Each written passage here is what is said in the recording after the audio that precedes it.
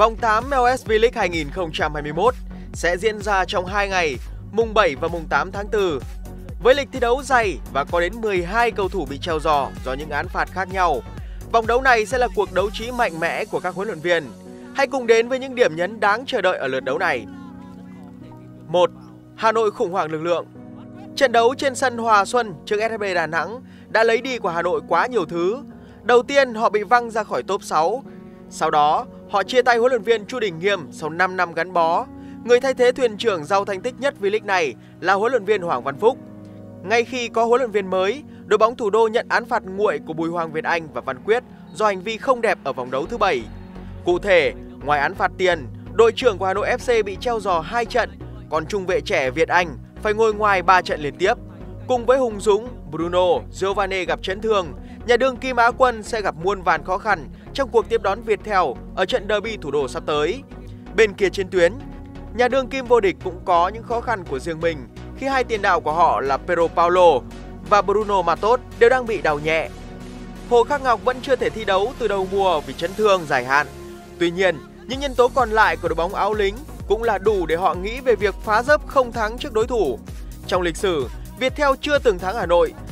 Nhưng trong cuộc đối đầu sắp tới, trong tay huấn luyện viên Trương Việt Hoàng đang có lực lượng ổn định và tương đối chất lượng. Trong hai trận gần nhất, Viettel giành chọn 6 điểm, ghi 5 bàn và không để lọt lưới bàn nào. 2.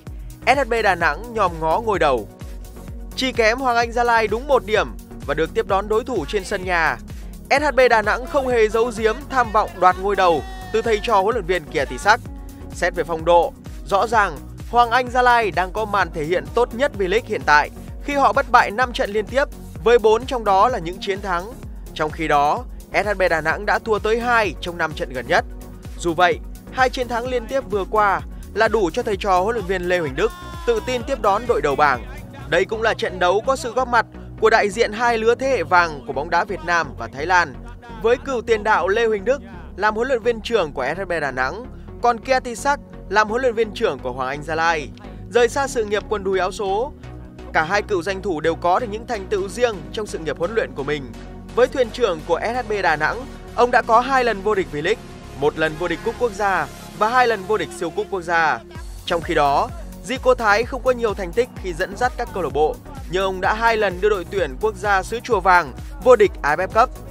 Với hai huấn luyện viên tài năng trên ghế huấn luyện, trận đấu giữa SHB Đà Nẵng và Hoàng Anh Gia Lai hứa hẹn sẽ là cuộc thư hùng hấp dẫn với những toan tính chiến thuật của đôi bên. 3. Hoàng Anh Gia Lai mất Xuân Trường, Kim Đồng Sù Sau chiến thắng ngay trên sân của Hải Phòng, Hoàng Anh Gia Lai phải đối mặt với thử thách lực lượng trong trận đấu với SHB Đà Nẵng. Cụ thể, ở các phút 41 và 64, lần lượt Xuân Trường và Kim Đông Su phải nhận thẻ vàng. Đây đều là những thẻ vàng thứ ba của hai cầu thủ này trong mùa giải năm nay. Điều này có nghĩa huấn luyện viên Kia Thị Sắc sẽ không được sử dụng Xuân Trường và Kim Đông Su trong trận đấu tới. Đây sẽ là thiếu sót rất lớn với Hoàng Anh Gia Lai bởi từ đầu mùa năm nay, màn trình diễn của cả hai là tương đối ấn tượng và góp công không nhỏ vào thành tích 4 trận bất bại liên tiếp và 4 trận liền giữ sạch lưới của đội bóng phố núi. Bên kia trên tuyến, SHB Đà Nẵng cũng mất đi tiền vệ Võ Ngọc Toàn do đã nhận đủ 3 thẻ vàng. Từ đầu mùa, cầu thủ khoác áo số 5 của đội bóng Sông Hàn chưa nghỉ trận nào và đóng góp không nhỏ vào lối chơi của huấn luyện viên Lê Huỳnh Đức xây dựng. 4. Huấn luyện viên Phạm Minh Đức và huấn luyện viên Nguyễn Đức Thắng Trưởng thành từ hai câu lạc bộ mạnh của thủ đô là Công an Hà Nội và Thể Công, hai huấn luyện viên Minh Đức và Đức Thắng cũng có những triết lý huấn luyện trái ngược nhau. Với Hồng Lĩnh Hà Tĩnh, tuy họ đang xếp ở cuối bảng xếp hạng với thành tích không mấy khả quan, nhưng lối chơi của đội bóng núi Hồng vẫn để lại những ấn tượng không nhỏ trong lòng người hâm mộ bởi sự máu lửa và không e sợ đối thủ nào.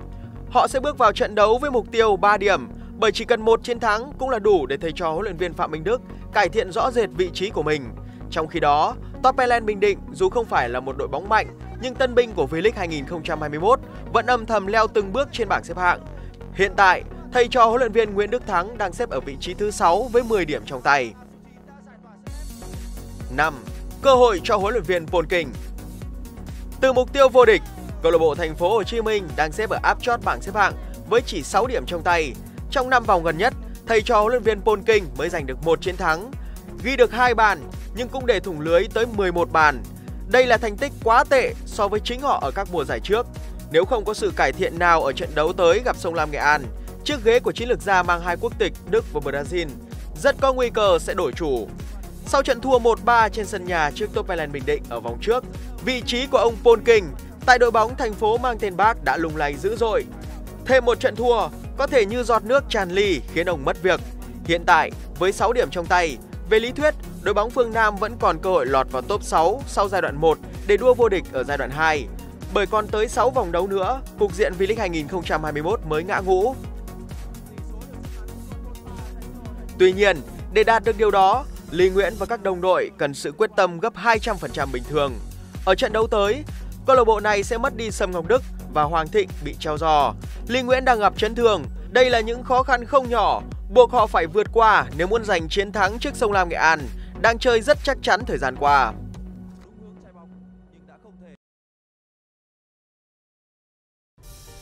Vài ngày qua, dư luận trong nước đặc biệt lên án những hành vi phi thể thao của Bùi Hoàng Việt Anh và Văn Quyết trong trận đấu với SHB Đà Nẵng.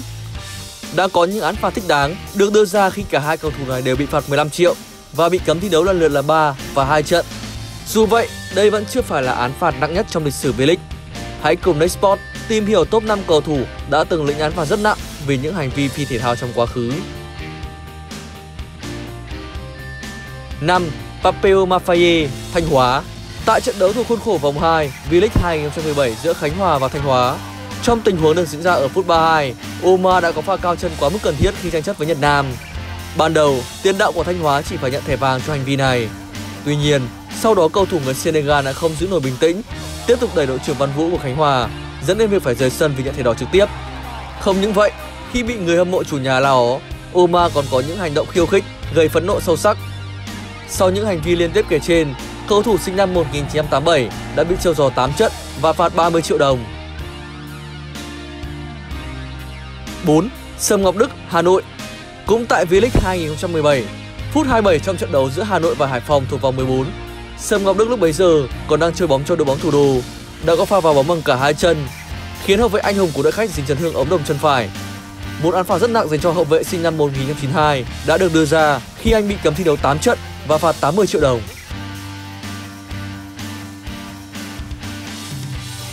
3. Quý Ngọc Hải, Sông Lam Nghệ An Tại vòng 25 V-League 2015, Quý Ngọc Hải đã có một trận đấu đáng quên nhất trong sự nghiệp quần đùi áo số khi pha vào bóng bằng gầm giày của anh đã khiến cho anh Khoa gãy chân và phải sang Singapore phẫu thuật.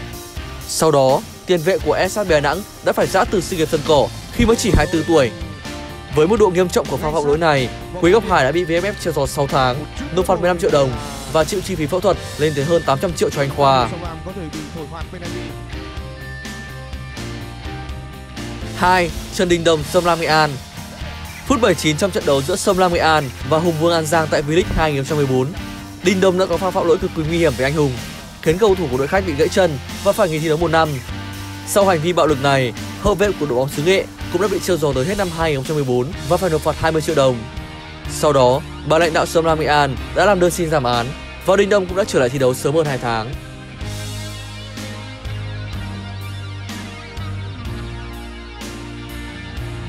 1. Ngô Hoàng Thịnh, Thành phố Hồ Chí Minh. Mới đây, tại trận đấu thuộc vòng 5 V-League 2021, Ngô Hoàng Thịnh đã có pha vào bóng kinh hoàng bằng cả hai chân, khiến Hùng Dũng được đưa thẳng đến bệnh viện bằng xe cứu thương. Tiền vệ của Hà Nội đã bị gãy 1 phần 3 xương cẳng chân phải và sẽ cần ít nhất 6 tháng để phục hồi và trở lại thi đấu đỉnh cao.